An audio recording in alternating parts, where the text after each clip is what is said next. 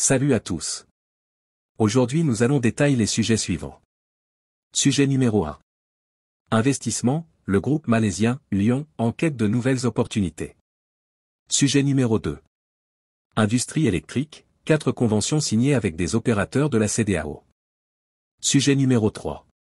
Je l'ai immédiatement regretté, Air Algérie sévèrement critiqué par Noël Phillips. Sujet numéro 1. Après avoir affiché son ambition d'investir 8 milliards de dollars dans la production de l'aluminium et dans la sidérurgie, le groupe malaisien, Lyon, a entamé depuis mercredi des discussions avec les autorités algériennes concernant de nouvelles opportunités d'investissement en Algérie. Ainsi, après une première audience que lui a accordée, mercredi, le ministre de l'Industrie et de la Production pharmaceutique, Ali Aoun, le PDG du groupe malaisien, M. Tansri Datuk Seri Utama William Chang, a été reçu, ce jeudi, par le ministre de l'Énergie et des Mines, Mohamed Arkab. Selon un communiqué du ministère, lors de cette réunion, les deux parties se sont entretenues au sujet des moyens de renforcer la coopération et les investissements dans les futurs projets industriels du groupe malaisien en Algérie, tels que l'exploitation des ressources minières et la fabrication de panneaux solaires photovoltaïques. Les deux parties ont également discuté, ajoute le communiqué, d'autres aspects de la coopération liés aux projets industriels transformateurs et à leurs besoins énergétiques de manière durable, qui dépendent de la formation, du transfert de technologies, de la valorisation du contenu local et de la création de richesses et d'emplois. Sujet numéro 2. Des opérateurs économiques algériens activant dans le domaine de l'industrie électrique ont paraffé quatre conventions de coopération avec des opérateurs de la Communauté économique des États de l'Afrique de l'Ouest, CDAO. La cérémonie de signature de ces accords a eu lieu mercredi, à l'issue d'une visite d'une délégation d'opérateurs économiques représentant l'autorité de régulation régionale de l'électricité de la CDAO, AREC, du pôle de l'énergie de l'Afrique de l'Ouest, WAP, de l'Association des fournisseurs et installateurs du matériel de l'énergie et de l'eau, AFIMEB, du Bénin, et le groupe industriel, GISB électrique, de Mostaganem. Le premier accord porte sur un mémorandum entre le groupement algérien des industries électriques et AREC pour coopérer dans le cadre du développement du secteur électrique au sein de cette communauté économique. Le même groupement, qui comprend des industriels, des laboratoires, des bureaux d'études et des entreprises de construction et de travaux activant dans le domaine de l'énergie électrique, a conclu un protocole d'entente avec Afimeb de l'État du Bénin pour la coopération dans le domaine du développement des échanges commerciaux et du développement du secteur électrique.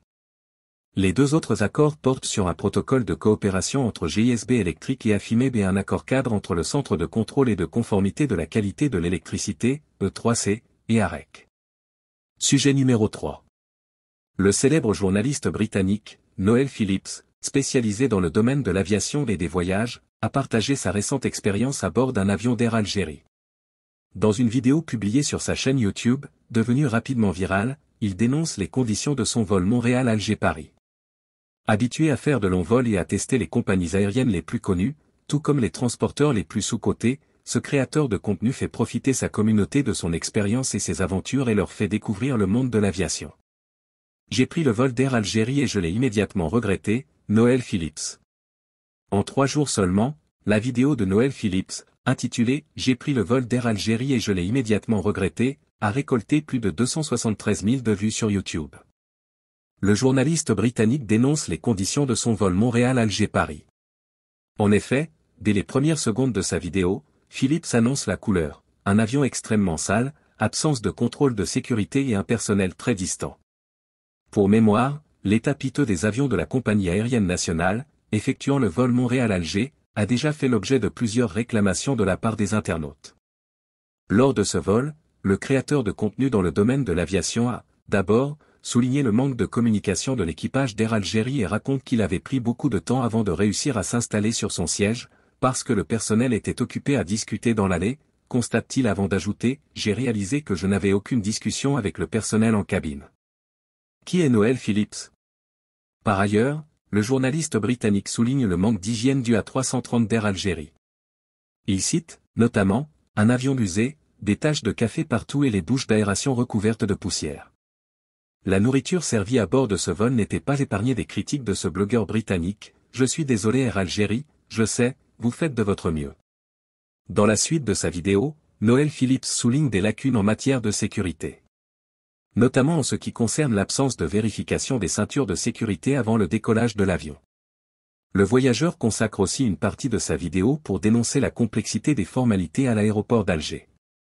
Pour ceux qui ne le connaissent pas, Noël Phillips est un célèbre journaliste britannique dont les reportages ont été diffusés sur de nombreuses chaînes de télévision internationales. Depuis 2013, il a parcouru plus d'un million de kilomètres en avion et compte en son actif 1213 vols opérés à destination de 119 pays. Sujet numéro 4. Tebboune l'a promis hier, à Tizi Ouzou, l'aide à l'habitat rural passera à 100 millions. Sujet numéro 4.